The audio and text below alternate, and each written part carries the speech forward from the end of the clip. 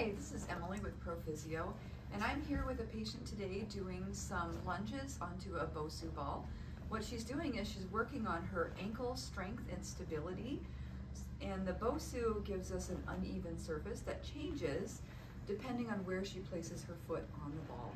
So this allows her ankle to improve stability, her balance, and allows her to be able to walk and move on uneven ground, uh, knowing that she can be confident that her ankle is going to support her throughout all these ranges of motion.